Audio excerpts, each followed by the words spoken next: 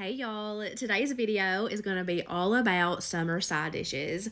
I'm definitely a sides type of girl. I almost always prefer them over the main course. I have just always been that way. Um, I'm going to be sharing four recipes throughout the video and all of them are intended to be made in advance. So you can make these the day before and they'll taste better the next day. So when you want to serve this, it's just going to be stress-free, hassle-free. I love that. Everything in here would be perfect to take to a cookout, or even if you're staying at home, you can just pull it out of the fridge and pair it with some grilled meats, and you're good to go. So I hope y'all enjoy the video. First up, one of my all time favorite summer sides is a good cold creamy pasta salad. It goes good with anything. I make many different versions of this, but this was honestly the best I've done yet. And I found a new dressing for this that makes it the best, and I cannot wait to share that with y'all. So I started by boiling up a pound of rotini pasta, just going by the directions on the box. And now I'm going to get some veggies and some pepperonis chopped up. Add a coupon on those big pepperonis, they're really good. I'm going to do about half of that package of grape tomatoes because I wanted to use the other half for something else. We're not a huge fan of a lot of tomatoes in our pasta salad. I've got one English cucumber. And then in my last video, I asked y'all what should I do with these leftover roasted red peppers. And I got a lot of comments about a pasta salad. So that's how I'm going to use those up. Now, keep in mind, if there is anything in this that you do not like, you can just simply leave it out. You can add any vegetable into this and it will turn out amazing. You can do broccoli, carrots, I know a lot of people do like purple onion, um, just whatever you want.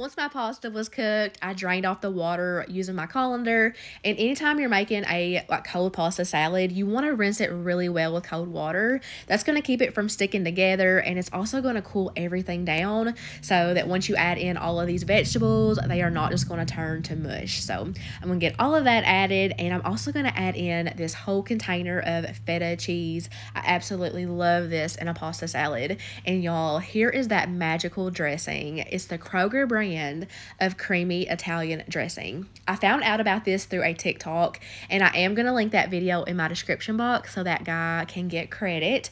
It is absolutely phenomenal.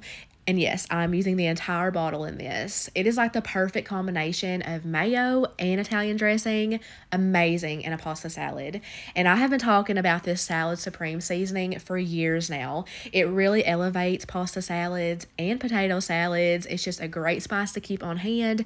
It's salty, it's got a cheesy flavor.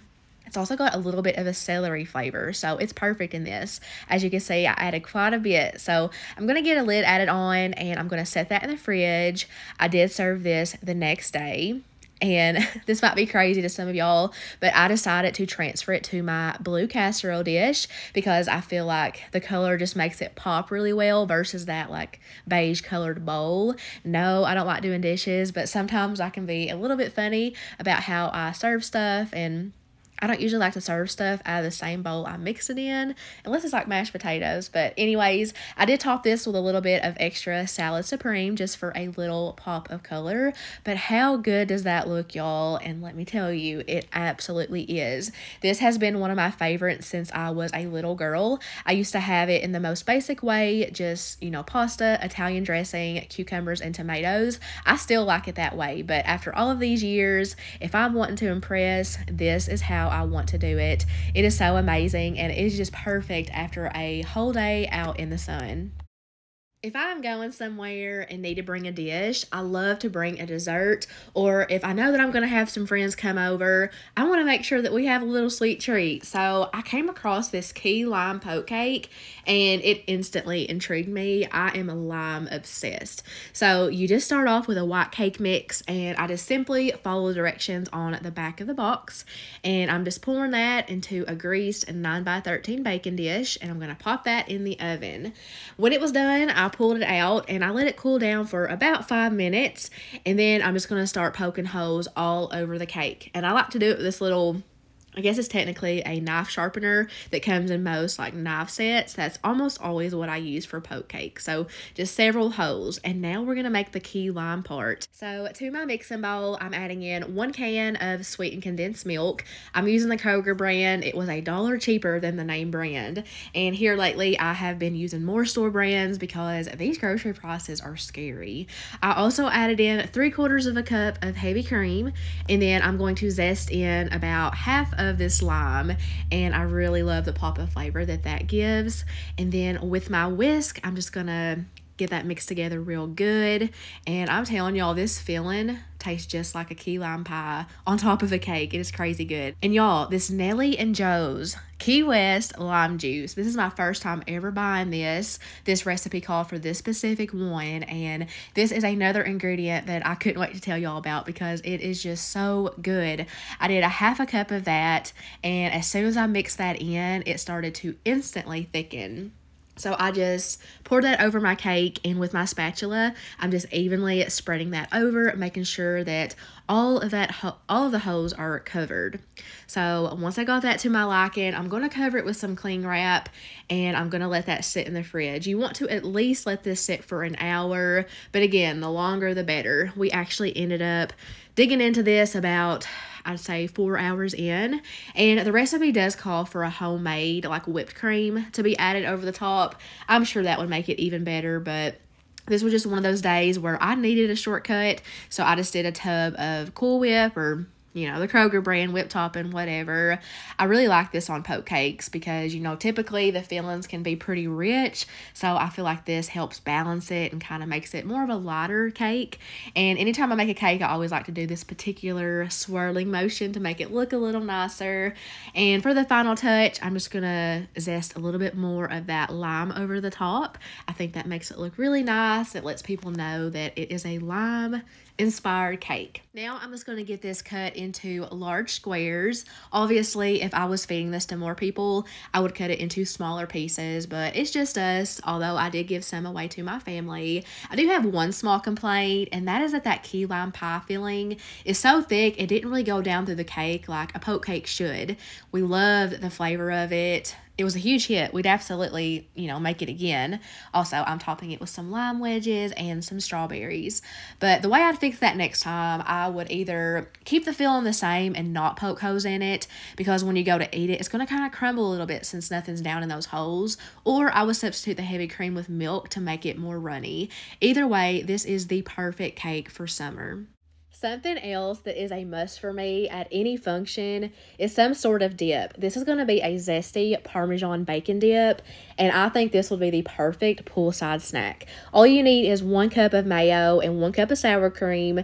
My dad actually gave me that sour cream because it was about to expire. He wasn't going to use it in time, so I was glad to use that up. You'll also need one package of this zesty Italian dressing seasoning mix. That's the key ingredient. So much flavor. You also need a half a teaspoon of some red pepper flakes. I have been loving those lately. I've been putting those on everything. So good.